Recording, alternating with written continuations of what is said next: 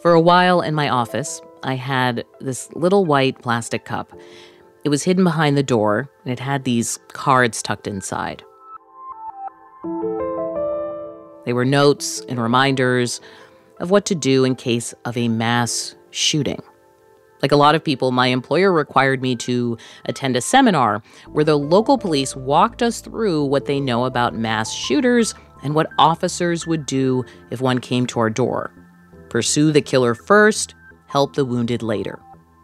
And they talked about what I should do in that scenario run, hide, fight. Yeah, you should. That's my fault. That's Katherine Schweit. And she's our single guest today because the fact that schools now do active shooter drills with this message is, as she says, her fault. Well, not totally, but at this point, it's now conventional wisdom from law enforcement, including at the FBI, where she helped create their active shooter program.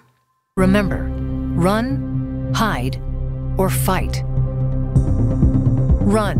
Wherever you go, be aware of alternate exits. And then there's this whole industry of private security types spreading the message in trainings like the one I went to, and researchers trying to identify patterns for what makes a mass shooter in an effort to identify and treat them before they commit violence.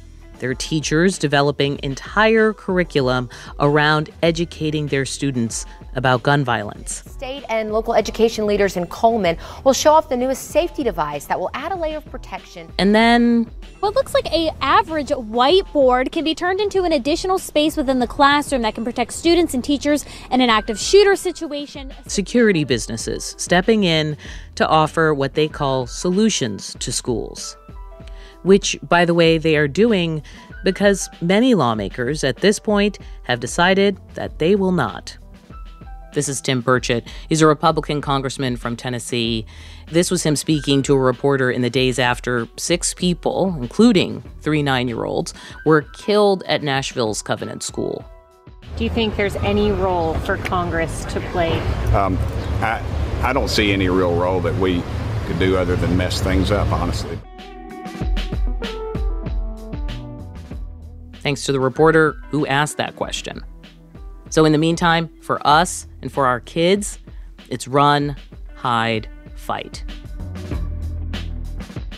So, today we're going to talk about what it's like to build a program that will mitigate disaster, how to explain what we're doing to kids, and what it's like to do that in the midst of political paralysis.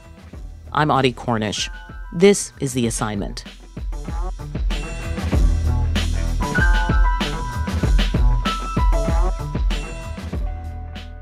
You've probably seen Katherine Schweit on TV in the past few days. I'm now joined by former FBI official Katherine Schweit. And also with us is former FBI agent Katherine Schweit. Katherine is the person you call when you're trying to make sense of a tragedy like this. She developed the FBI's active shooter program. And I saw her pop up on TV doing these quick explainers. But I wanted to know more about her. Like, what was the moment that led her to become an expert on this grim topic? There's always not an aha moment. Oh, there was. You're right. There was an aha moment. Tell me about it. Awful indeed. Uh, CNN's Ashley Banfield is now on the scene for us in uh, Newtown. Give our viewers a sense of what you're seeing and hearing. Well, I'm in the same place, Wolf, that uh, the Connecticut Governor Dan Malloy just updated us all. When the Sandy Hook massacre uh, happened, we rarely call these shootings massacres, but Sandy Hook is often referred to as a massacre because there were, uh, as everybody always says, those babies. There's these tiny little kids. And I think the shock of that shooting, our personnel were on the ground working, our SWAT team was there helping at Sandy Hook, clearing that room. It was so devastating to the country. And what we saw at Sandy Hook was even though the Connecticut State Police were in charge, even though Newtown police were there, it was a small community that was so devastated. They were so overwhelmed. And I swear, I feel like it was that day that the FBI director and Mr. Biden's office um, and Mr. Uh, Obama's office set their sights on we're going to come up with a single voice in the federal system. We don't know how, but we're going to do it. it's not unusual for a politician to say, we're going to do something, but then somewhere, someone has to do it. And, and that was you. So, what was that conversation like? The president had made statements saying, uh, you know, they called it his now is the time speech. Yeah, this is President Obama. Hi, everybody. This week, I announced a series of concrete steps we should take to protect our children and our communities from gun violence. He directed the vice president to vice president put together a team of executives from the agencies, and I was the FBI's agency executive. So that may sound like us, just another meeting, but we met every single day together, starting with conversations about what are we going to do to prevent these shootings from happening again and we were literally arguing in the first days about what really needed to be done and what the problems were. And every day we'd get together in a room at the Department of Education and argue about ways to solve this problem, not having any idea whether it involved better police response or harder targets or training civilians to know what to do or getting rid of guns or whatever. You know, it's interesting. There are so many places where mass shooting events have taken place, but you're saying these meetings happened at the Department of Education. I know. That's because Sandy Hook was a school, right? And the Department of Education, I mean, of all the places, I think in retrospect, I so agree with you because when we started, and I said we were arguing, the Department of Education people, when I brought Run, Hide, Fight to them, which is something I'd love to tell you how that happened, they said, yeah, we don't we don't use words like that in schools. We can't use fight. And they wanted the conversation to end at that moment. So it was like we don't like, we're not talking about this. right. I'm at the FBI and we're like, yeah, they're it's a violent thing, David. You know, that's what I said to the executive who was who was my counterpart. One of the interesting things about what we'll call this pivot in law enforcement, right? In the right. government that we're pinpointing to the Obama administration is now becomes a whole world of people who are thinking about how to deal with active shooters and also how to deal with mass shootings in schools. So there are people such as yourself, law enforcement, but there's also people who have to come up with these trainings, so to speak. There are mental health professionals, there are parents thinking about this. And in recent years, we're seeing commercial interest, right? Like Tons. people coming up with right. say ballistic enforced windows. Doors, windows. Oh, yeah, locks. right. Sure. There's a whole thing sprouting up for us to live with the reality of mass shootings and in particular mass shootings in schools. Yeah. Is that true? Am I making that up? No, you're not. Um, it's a whole other industry so where there were people like after Sandy Hook, Chris Murphy, you know, uh, who's from uh, Connecticut. This is the senator. The senator Chris Murphy uh, wrote a book and and started advocating for things. And if you think back, right, um, Gabby Giffords, it's not like this was the first time anything happened, but this school incident created this cottage industry of we're going to find a better way to crack the nut in terms of keeping kids safe in school. And at the time, we didn't really know. Truthfully, the Department of Education at the time, their biggest uh, beef with me was uh, you can't even tell me, Kate, if the uh, number of shootings are increasing. Mm-hmm. Also, could you even tell them who a potential shooter was? No, not really. I mean, we hadn't really, even at the FBI, we hadn't focused on this as a separate area. Now there's a whole, you know, component at the FBI that does this. Of course, we had uh, behavioral uh, specialists who who look at shooters and why they shoot. But you know, when when everybody wants to buttonhole a potential shooter and say, "I just need to see the profile. I just need to see the profile." The problem is there there isn't a profile here. Right. But we all watch TV and we think like criminal minds or whatever. Like the exactly. FBI profilers will come in and say it'll be a X probably right. this tall with this grievance, and that's the person you have to look out for. And that has not happened when it's come to active shooters, frankly, uh, not really with schools either. No, because I think the difference between that is a profile is things, demographics and factors about an individual that you can tell from standing far away from them. they're this tall or they have this kind of education. I've worked with the profilers on cases, uh, kidnapping cases, and other cases. But when we're looking for this kind of a shooter, we're looking for individuals who could be you or me or anybody in the neighborhood, but they're different than you or me or anybody in the neighborhood because they're much more brittle. Emotionally. Emotionally, they're brittle. And so when they, for instance, have a grievance, uh, or even if it's a perceived grievance, but say they get fired on a Friday, some people go home and you know pour open a glass of wine and commiserate with their friends about the state of the economy and others go home uh, get the gun from their bureau or go out to their car and get the gun out of the glove box and come back in and kill people at the office. So on your website, you have like a, a little quiz, like which one of these things are you doing to keep your right. school safe? And one of them is like, do you have any kind of threat assessment, right? Do you have a threat assessment team? Um, another one is, uh, do you have a way for your students or anyone to basically report signs of someone who's like under emotional distress, et cetera? Mm-hmm. You also have a question, which is Do you run uh, drills and training several times a year to give faculty and staff confidence to respond immediately during an emergency? Let's talk about this. Several times a year. Mm-hmm. Every school runs fire drills twice a year. We haven't lost a child to a fire in the, since the 1950s in the United States. But we run a couple fire drills every year, usually when the weather's nice. You also say you give some suggestions and you say well maybe a school resource officer can oversee running non-scary but informative drills three times a year for students and staff. Now i've done of one of these in a, in a workplace. It was scary. Right because that's what's a non-scary version for kids? So i think that i, I liken this right to what i was just saying about a fire.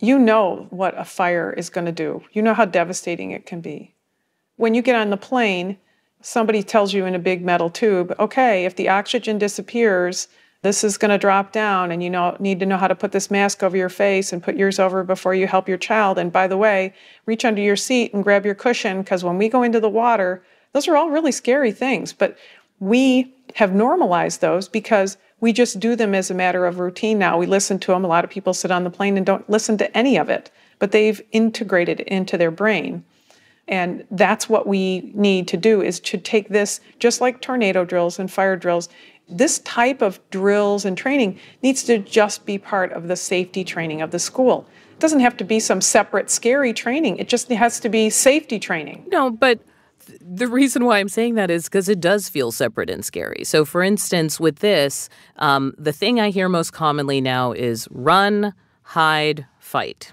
Yeah, you should. That's good to know. That's my fault. Tell me about that. Where'd it come from? So, the City of Houston Mayor's Office developed Run, Hide, Fight on a DHS grant in the summer just before Sandy Hook. They released that six minute film and training in multiple languages and put it up on the City of uh, Houston Mayor's Office website. And when we first started meeting at the Department of Education and arguing about what we should do or shouldn't do, the Department of Education said, we're not going to talk about this. It's too scary, and that is going to. Which part did they find scary? All the concept of just uh, talking about shootings in schools at all. Oh, okay. And we don't think this is a good thing. And I said, but they said we should do a training film. I, I don't know what that meant. And I said, well, okay, the FBI has a television studio. We can do a training film. And then I know how much that costs and how long it takes. So you know, I went home and did my best internet search like everybody, and I ran across this six minute film that had just been released by the city of Houston. And if you find yourself facing an active shooter, there are three key things you need to remember to survive it's get out. Right. It's run, run and then hide and then fight. fight. Which is like grab something, right. ambush, try and actually engage somebody who let's face it, has spent a lot of time thinking about how they're going to attack you. Right. And you've spent very little time thinking about how you're going to fight back. Um, so I'm trying to picture teaching this to my five year old. Okay, so wait, so let's back up too, because I think, you know, that's that's great, but now we're talking about a five year old. So first let's just talk about the adults in the room, right? Because the adults have to understand it first. And the concept behind run, hide, fight this is what people do at scenes. This isn't a suggested idea of what might happen. These are the actions that happen. you know, run if you can, hide if you must, and fight if if your life depends on it. And so the training that goes along with it explains the nuances of that. And there have been other organizations that have uh, private companies, right, who've developed training that's similar. All the training focuses on these three actions. But there is a concern people have, let's say, about mental health, right? I mean, when I kind of went down the rabbit hole on this, there there were some um, researchers who put out something, and uh, I think I saw it on nature.com. I'll give you the proper citation in a minute. But basically, they said uh, they studied people's social media posts kind of before right, and after afterwards. you've heard of this. Absolutely. And I, I just want to say this for the audience. They found that school shooter drills can negatively impact the well being of school communities over prolonged periods of time, um, that students were texting their parents, uh, praying, crying, you know, really talking about breaking down in tears, Mm-hmm. you know, during recess. That's uh, kind of quotes from some of the teachers. And then also having downright fear and panic attacks when, for instance, the fire alarm goes off. You talked about us being used to the fire drills. Um, it isn't, it's no small thing to have this. No, it isn't. And I don't make light of it at all. Like, was that educator right? But no, but that educator is right. But here's the difference um, look at the date of that study. And that study was done to help us inform us, I mean, in general, about how to do a better job in training. I think the, there was, there absolutely was initial training that was people running through hallways with long guns in their arms and yelling at students and fake blood everywhere and no notice drills. And those are still going on. No, one notice sh- meaning surprise, like surprise, We're all in Surprise. an active shooter drill and doing that like in a school. Right. The early training that was done with the community as opposed to law enforcement going out in the woods and doing their SWAT training, the early training that was done by private companies was uh, and some law enforcement was really based on this idea of we're going to let everybody know how scary it is. And that was never ever the training that was developed by the FBI and that's one of the reasons why we had to create we worked with FEMA to create civilian training that was not at all anything like that. Right. Because we also don't need help knowing that it's scary. Exactly. Like we all know that it's scary. well, we don't teach kids about car accidents by showing them body parts in the street, right? We don't teach adults about plane safety by having them have simulated crashes into the water. Training where you scare people is not effective training. All you do is scare them, you don't empower them. So let's go back to non scary informative, right? Which is your goal. And my five year old who just entered kindergarten, and I'm Right. I'm I'm very ner- nervous, frankly, you know, uh, about this whole conversation, but Sure. also explaining to him, right, when he comes home from school after the first day of probably experiencing something like this. So, how do you want schools to approach it? What makes sense at this point in time based on what we know? All right, so how do you talk to kids? Different question, right? How do you talk to kids? Well, first of all, you're a parent, you know how to talk to your kids. And you tell your kids, and teachers are the same way, right? Teachers are trained to talk to the children at the age they are. So when you're a teacher of a kindergartner, you're not saying, a scary guy's going to come in here with a gun, so we have to do this. You're saying, sometimes bad people um, might be around the building and we have to be careful and we have to be quiet. And in one of the books, one of the elementary school books that I found that was so cute uh, that that I think every school should have in their library and every parent should own is is a story about that the circus train came by and the circus animals got out of the train and they're looking for lunch and they want peanut butter sandwiches. So the kids better stay in their classrooms and stay quiet so the animals don't come to eat their peanut butter sandwiches. All you're teaching a child at that age is to listen, to follow directions, and to be quiet when they need to be. That's it. The other thing about training kids is you got to lead by what they know. I think I hear parents all the time say, I don't want to talk to my kids about that. It's too scary. Well, kids are talking about it. They're talking about it amongst themselves. Talk to a group of fourth graders and ask what if they know anything about what, what school shootings and active shooters are. They know. So I think it's naive of parents right now to say, oh, I can't talk to my kids about that. It scares me. And, and you know what? Let me tell you something else about that. My daughter's a middle school teacher. And uh, I asked her early on when I was working on, uh, on some stuff, I said, What do you think uh, about the parents who say it's too scary to talk about it with their kids. And she said, I would tell them, park your neuroses someplace else because that's you. Your kids aren't scared of it. They're scared of a lack of information and they're making it up on their own. So why don't you help them out by having a conversation with them about it? The reluctance is that school is, for lack of a better term, a safe space. Like we pretend that school is a bubble similar to home. If you believe home is safe, school is also safe. And it just it feels like generationally we're like nope, not an option for you. Not an option for this generation. Not safe. Yeah. But what is that like? What do you mean? For you. What is it like for me to live this way? I want to get off this bus. Uh, I just haven't found a way to do it. I mean, I retired from the FBI five years ago, and the shootings continue to increase. I, am I'm, I'm going to say something that I, I don't want you to think I'm putting on you. I just don't okay. know another way to ask it. That's all but right. do you have moments where you're like, did I fail? Oh, yeah. Sure, I do. I do feel like as much as we did, I, I couldn't get enough. I'm bailing water out of this ship as fast as I can, and it's still sinking.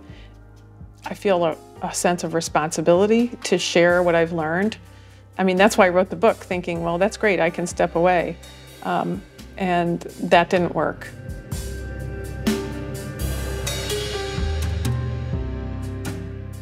More of my conversation with Katherine Schweit in a moment.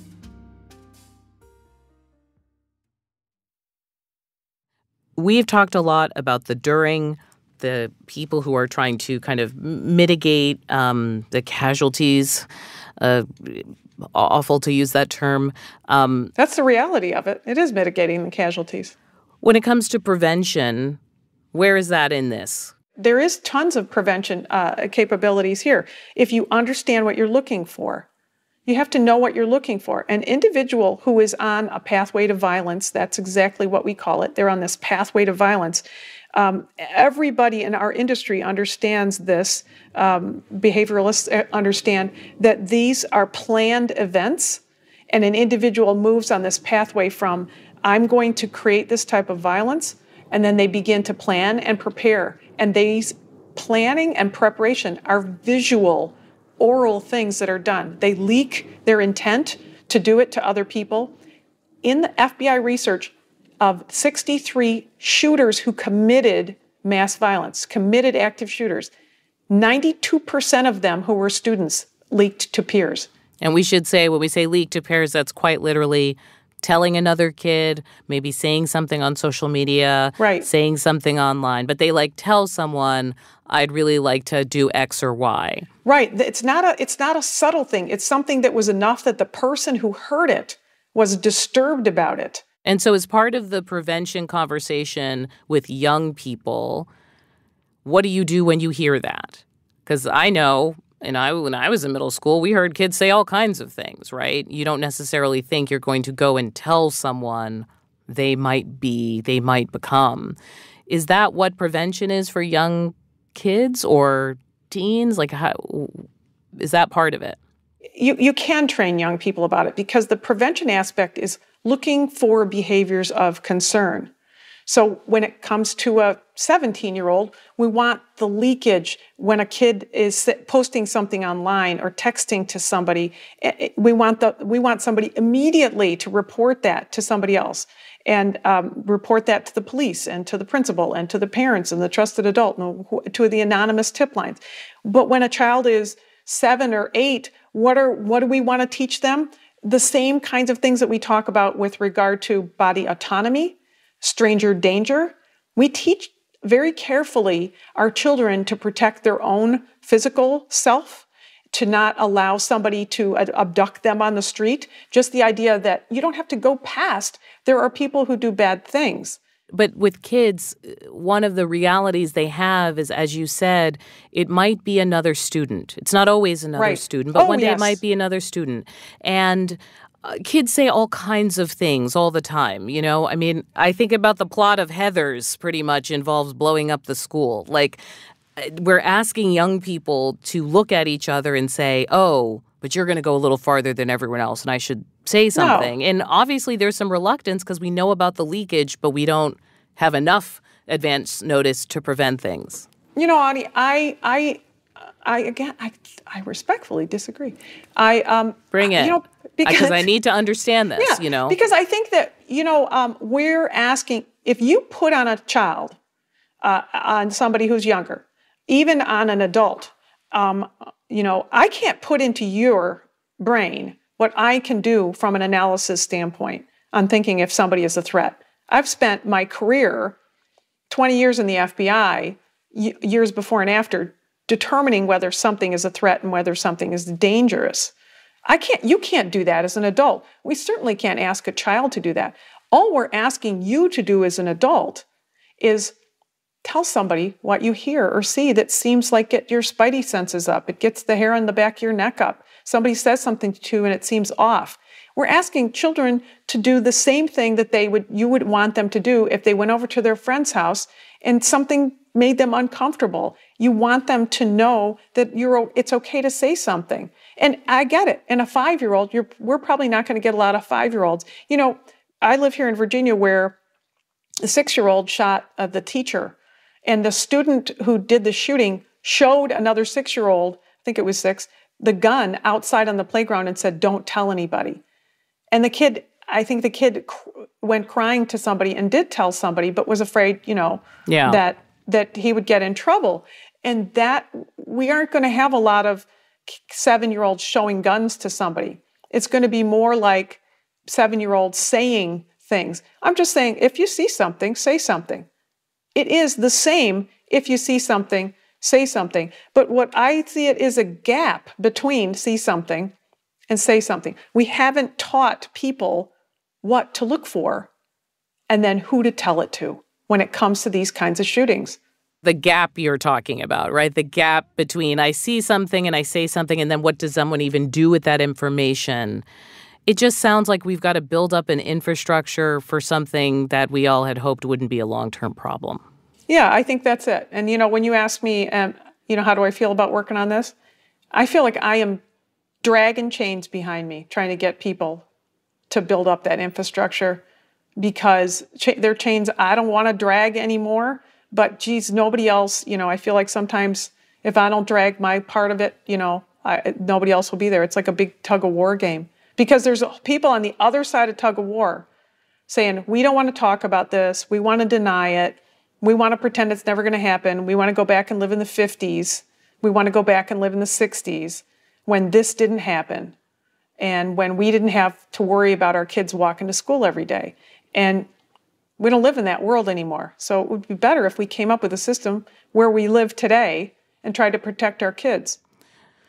But at the same time, you're hearing more and more young people because of social media, they speak out, right? Um, and they're expressing a kind of frustration, helplessness, some of them encountering more than one mass shooting incident in sure. their personal history it's it's rare but not rare if that makes sense. I mean but there are more shootings. I mean that's the reality yeah, of it. because you now could have a teacher who's also had this same experience. Like that's how long it's been. My undergraduate is in michigan state university 45000 students. They had eight students shot a few weeks ago three of them killed. So now 45000 students at michigan state university are going to be able to say they had a shooting on our campus I think it's a it's a false narrative to say that we can um, create a world where we go backwards and nobody's interacting with this. But what do you say to kids then, right? I mean, if they're feeling and teachers, students and teachers, et cetera, just uh, they're feeling helplessness, they're feeling frustration. Maybe they feel like culturally they're being given up on, as you said, that like now it's just living with it. They don't they don't have another option. It's live with it, mitigate it, all this other stuff. We, you know, I, I, you know what I hear in your voice, Audie, is is the is a helplessness and a frustration and a futility. That's what I hear. And you can't work as a prosecutor and as an FBI agent and feel that way. You have to feel like everything you do makes things better, uh, because if you weren't there, it'd be worse. I don't say this is a great situation. I say this is the situation we're in. I didn't create this situation, right? But I can make it better. People who talk to their kids, like my niece, uh, Megan, who talks to her kids and empowers them, my daughter, who's a middle school teacher, who empowers herself and her kids and the teachers around her to know that they're not going to let violence take over their world. It, it's good because the violence is here we, you know, 45,000 people a year die, die by firearms violence. Less than one half of 1%, if even that, are from this kind of shooting. Let's talk about it and let's stop being so afraid of it. That's the way we stop the killing. You said something earlier about hearing helplessness in my voice. Absolutely. As a journalist, each and every time I report on one of these things, which technically I've been doing since high school, since I was in high school in the late 90s. And the conversation falls in the same beats, in the same ruts, in the same order. And you do often feel helpless because, as you said with Sandy Hook, and that was the turning point for me as well, if a room full of kindergartners doesn't make anyone think anything should be done without falling into those same arguments, well, then what could I possibly say? So you are hearing that. You know, I will cop to that 100%. Well, that's okay, right? I mean, that's the. That's I mean, no, not really. that's, no, that's when you're I like, mean, maybe I should get out of the business. But you know what I'm saying? Like, you you detected something that is real, which is the fatigue that I feel, and that I think to some extent, possibly, citizens feel and it's the same reason that you know i we do our podcast. Who does a podcast called stop the killing right? How depressing is that? But in fact it's very empowering. Our listeners are like it's very empowering. And you know all we can do in, in my mind is continue to empower people so that we regain control of this situation when it comes to gun violence. And i'm really dedicated to that mission. I feel like we just have to do that. Well keep doing what you're doing and I hope one day you don't have to do it anymore. Me too. Thanks very much for the time, Audie. Katherine Schweit. She established the FBI's active shooter program. She's also the author of a book called Stop the Killing How to End the Mass Shooting Crisis. The assignment is a production of CNN Audio. Our producers are Madeline Thompson, Jennifer Lai, Lori Galarreta, Carla Javier, and Dan Bloom. Our associate producers are Isoke Samuel and Allison Park. Our senior producers are Matt Martinez and Haley Thomas. Dan Dzula is our technical director. Steve Lickteig is our executive producer. Special thanks to Katie Hinman and to music composer Emery Dobbins. I'm Audie Cornish. Thank you for listening.